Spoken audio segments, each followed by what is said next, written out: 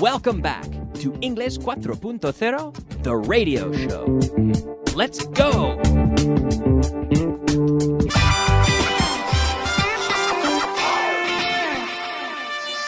Intermediate. Okay, welcome, intermediate students. Intermediate class five. Here we go. All right, I'm going to start today with, of course, our little review of what we saw yesterday. But today we actually have some questions. So please remember to all you subscribers to the Vaughan Inglés 4.0 that you can always log in through the website and ask questions through the website, vaughaningles.com.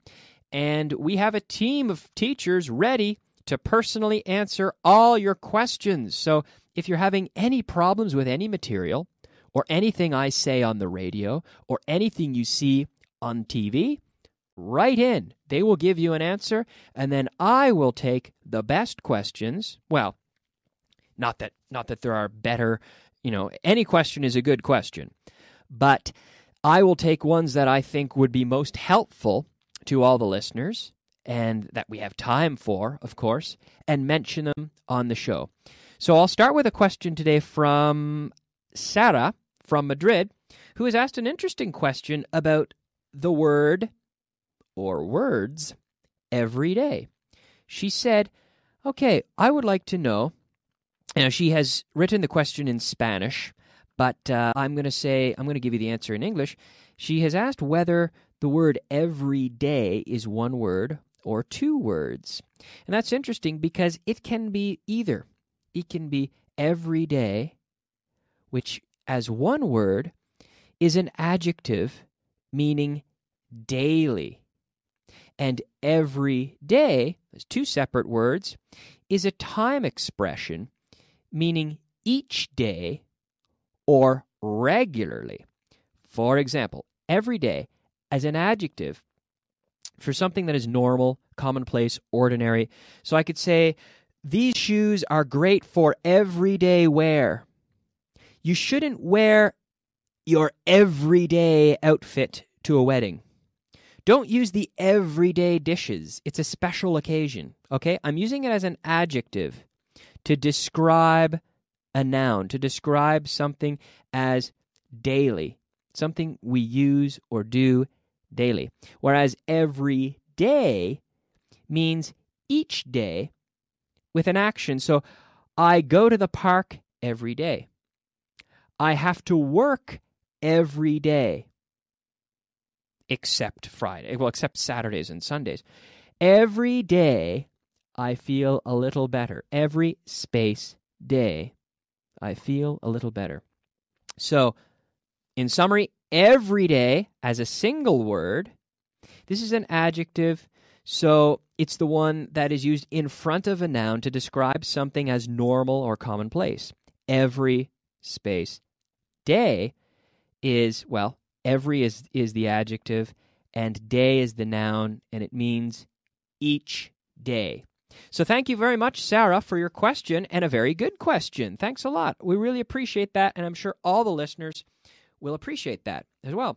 So uh, also, we ha- I have a second question here from Pedro, intermediate student uh, Pedro in Santander who has asked another really interesting question. And this one, he said, okay, we're now working with the past tense, and I have a doubt, or he said, I have had a doubt. Well, he should have said, I have had a doubt for a long time. So many times I've heard the question, what happened yesterday? Can I say, what did happen yesterday instead of the other structure? And so here, here we are with a very interesting question based around the use of the auxiliary verb in questions because your teachers always say, yes, you need an auxiliary verb in the question, an auxiliary verb, and you do, except when your question word what in this case what happened what happened yesterday when your question word represents the subject you do not need an auxiliary verb okay? Usually this occurs with the question word who if I say, Who broke the lamp? We do not say, Who did break? Okay, we say, Who broke the lamp? Okay? So, what did you do? Here, the subject is you. So, you need the auxiliary verb, did. What did you do? But if we say, what happened? The subject is what. So, no auxiliary verb. Who did you give it to? ¿A quién se lo diste? The subject is you. So we need the auxiliary verb. Who gave it to you? ¿Quién te lo dio? The subject is who, the question word, so no auxiliary. Okay? Out of all the times that this happens, uh, usually, the vast majority of times, it is with the question word who. Okay? Um, it's with the question word who, but very often, well, some, well, I should say sometimes it does happen with what. What caused the problem? Okay? Who broke my watch? Who called? Okay? We do not need the uh, auxiliary verb did in this case. Great question, Pedro. Great question. Well done. I really appreciate that. And for all you people listening, if you have any questions, that's what I'm here for. Send them in, and I'm going to answer your questions. All right, great job. All right, let's, let's go ahead. All right, okay, let's move on with a little review of what we saw in the last class. Did. Did you listen carefully in the last class? So, again, forming the questions. So, here we need this, this auxiliary verb. Did you listen carefully in the last class? Yes, I did. Give me a short answer. Yes, I did. Did you study carefully? Yes, I did. Did you see me last week? No, I didn't. Did you speak German when you were young? Oh, really? Did you? Yes, I did. Yes, you did? Oh, okay. Or, no. No, I didn't. Did you log into vaughaningles.com today? I hope so. Did you? Yes, you did? Oh, good job. Did you email any of your questions to the teachers? Did you? Good. Well done. Did you test your progress? Oh, good. Okay, well done. Now ask me. Ask me if I read a book yesterday. Did you read a book yesterday? Very good. Yes, I did. Ask me if I went to Canada last summer. En voz alta. Out loud at home, please. With me. Ask me if I went to Canada last summer. Kyle, did you go to Canada last summer? Yes, I did. Ask me if I ate lunch at home today. Did you eat lunch at home today? Good. Ask me if I lived in Canada when I was 10. Did you live in Canada when you were 10? Yes, I did. Ask me if I worked for Vaughan Systems five years ago. Did you work for Vaughan Systems five years ago? Yes, I did. Ask me if I taught English classes in 2005. Ask me. En voz alta. Ask me, ask me. Did you teach English classes in 2005? Yes, I did. Ask me if I knew Richard Vaughan in 2006. Did you know Richard Vaughan in 2006? Good. Yes, I did. Ask me if I got my driver's license when I was a teenager. Did you get your driver's license when you were a teenager? Repeat that. Repeat that. Did you get your driver's license when you were a teenager? Yes, I did. Yes, I did. Good job. Remember, driver's license is uh, the North American term. In Britain, I believe they say driving license. So, driver's license or driving license. Word of the day. Oh, yeah. All right. It's time now for our word of the day. How do you say chapucero? Chapucero. Mm, yeah, ooh, good. Yes. Sloppy. Sloppy. Mm, sloppy. Very sloppy. The adjective, he it's a sloppy he did a sloppy job. He did a sl- so a construction work a construction job, let's say, or I'm fixing something but I don't do it very well. A, a little bit careless and it, it doesn't it doesn't turn out well. It's been done very in a very sloppy way. It's sloppy. Now be careful, not a sloppy, but sloppy. Okay, good job. The word of the day. There you go. Sloppy. Okay, now I want to move on and talk about cut. here we are in class number five. Cut in the past. I cut my finger. Eesh. I cut my finger yesterday. I cut myself. So we're practicing. Make sure you're following along in your student guide. We're practicing here with reflexives as well. Yes, I cut myself. I cut myself when I was shaving. Mm. I cut myself when I was shaving. Also, two weeks ago, I cut my finger. I cut my finger. Now, I didn't, I didn't cut my finger off. I would much rather cut my finger than cut my finger off. If, I cut it off, that means that I have actually severed the entire finger and it's completely gone. Oh boy. Have you ever cut your finger? Yes, you've cut your finger. Have you ever cut it off? Oof, terrible, terrible. Sometimes, if if you do cut your finger off, sometimes the doctor can sew it back on. Coser, to sew. The doctor can sew your finger. Hopefully, hopefully, sew your finger back on, but terrible. I cry when I cut onions. Mm, it's true. I also cry when I cut my finger. I cut vegetables yesterday, but I didn't cut any meat. So cut, cut, cut.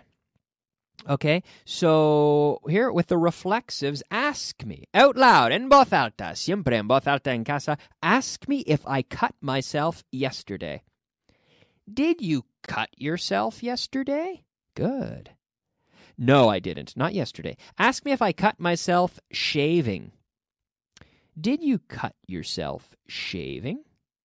Ask me if my brother cut himself while cutting apples. Did your brother cut himself while cutting apples? Good. Ask me if my mother cut herself while cutting chicken. En voz alta. I can't hear you. Did your mother cut herself while cutting chicken? Hmm. No, she didn't. My mother is very experienced at cutting uh, meat and vegetables, so she, she rarely cuts herself. Ask me if my father cut himself working with his saw. His saw. Saw. Sierra. Saw. Ah, yes. Did he cut himself working with his saw? Saw? Yes, he cut himself working with his saw. It's the pronunciation is, and, and spelling are the same as the past of the verb to see. Today I see, yesterday I saw. And then we have a saw for cutting. Sierra. Vocabulary of the day. All right, yeah, it's time to take a look at the vocabulary of the day. That's right, the vocabulary of the day. The first word today, in fact, in three words, we have in Spanish we have three words: tan pronto como, or also en cuanto. In English, as soon as. As soon as. Three words. As soon as. I'm going to go home as soon as I finish recording the show. Yes. Al lado de. Beside. Beside. Fíjate que no, no digamos besides, sino beside, porque besides, con ese, is además de. Besides, and in addition, in, in addition to that, plus, besides, you know, I, I, I need a vacation because I work a lot. And besides, I'm tired, for example. But al lado de, beside, without the S. Confiado confident, confident. Defectuoso, defective, defective. Very good. Defective. Máquina tragaperras. Slot machine. Slot machine. Slot significa ranura. Entonces, slot como máquina de ranura, porque hay un, un, una ranura ahí. You put your coin in the slot. It's therefore a slot. Slot machine. Repeat, slot machine, not a slot, but slot machine. Slot machine. Conmigo, slot machine. Very good. Okay. Do you think you'll listen to the radio show tomorrow? Do you think you'll. Yes, I think I'll listen to the radio show tomorrow. Give me a full answer at home. Do you think you'll learn a lot from the TV program? Yes, I think I'll learn a lot from the TV program. Do you think you'll take advantage of the TV, radio, website, and the mobile phone content? Yes, I think I'll take advantage of the TV, radio, website, and mobile phone content. Take advantage of. Aprovecharse de algo. To take advantage of something. Do you think Real Madrid will win the league this year? Yes or no? I don't know. Yes, I think Real Madrid will win the league this year. Or maybe, no, I don't think that Real Madrid will win the league this year. We have a that, that, which is optional. I think that Real Madrid will win. I think Real Madrid will win. That, la palabra, la palabra, that is optional here. Who do you think will win the league? I don't know. Who do, who do you think? Maybe you think that Barcelona will win. Maybe you think that Seville will win. I don't know. Who do you think um, will win the Tour de France next year? Do you think Lance Armstrong will win the Tour de France next year? Do you think Alberto Contador will win the Tour de France next year? We say in English Tour de France. We, t- we, we, we borrow that word, well, that term from French. In English, we tend to respect uh, other languages for certain things. We say, um, you say in Madrid, in Spain, the um, Noche en Blanco. And we say La Nuit Blanche, which is French, but we acknowledge that in English. And around the world, in Canada, in Toronto, they say for the Nuit Blanche, which is, because it, it it's a French. It was a it was started uh, by the French. So we we say the Tour de France, which is French, but we we we tend to respect uh, things like that, names that are in uh, in other languages. We often respect them in English, and we don't uh, we don't change them. Uh, do you think Fernando Alonso will win the championship again? Yes, I think Fernando Alonso will win the championship again. Do you think Spain will win the next World Cup? Yes, I think Spain will win the next World Cup. Do you? I don't know. Do you think Rio will do a good job hosting the Olympics? Do you think so? I don't know. Do you think the Olympics in Rio will be as impressive as the Olympics in Beijing? Hmm. I don't know. So give me an answer. Yes, I think the the the Olympics in Rio will be as impressive as the games in Beijing. It's your opinion. I don't know. Okay, we're completely out of time. Remember, any questions, send them through the website. That's all for now, guys. We're going to take a break and we'll be back with the advanced class. See you soon. Bye bye.